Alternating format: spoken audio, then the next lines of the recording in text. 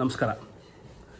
ಒಂದು ಏಳೆಂಟು ವರ್ಷದ ಹಿಂದೆ ನನ್ನ ಸ್ನೇಹಿತರೊಬ್ಬರು ಒಂದು ಫೇಮಸ್ ನ್ಯೂಮರಾಲಜಿಸ್ಟ್ ಇದ್ದಾರೆ ಅವ್ರನ್ನ ಪರಿಚಯ ಮಾಡಿಕೊಡ್ತೀನಿ, ಬನ್ನಿ ಅಂದರು ನಾನು ಹೋಗಿದ್ದೆ ಬನಶಂಕರಿಗೆ. ಅಲ್ಲಿಂದ ಅವ್ರು ಕರ್ಕೊಂಡೋಗಿ ಪರಿಚಯ ಮಾಡಿಕೊಟ್ರು. ಸಾಧಾರಣ ಒಂದು ಇಪ್ಪತ್ತು ನಿಮಿಷ, ಅರ್ಧ ಗಂಟೆ ಮಾತಾಡಿದ ಮಾತಾಡಿದ ನಂತರ ಅಷ್ಟಲಾಜರು ನನ್ನ ಹತ್ರ ಒಂದು ಫೈವ್ ಲ್ಯಾಕ್ಸ್ ಸಾಲ ಕೇಳಿದ್ರು. ನಾನು ಏನಕ್ಕೆ ಅಂತ ಕೇಳಿದೆ.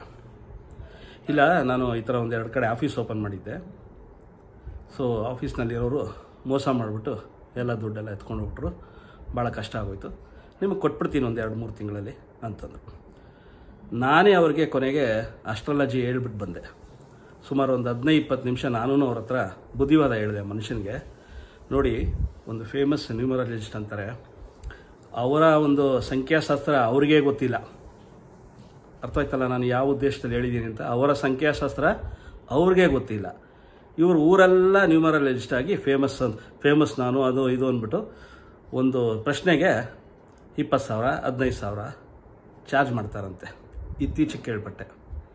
ಇದು ನಮ್ಮ ಸೊಸೈಟಿ.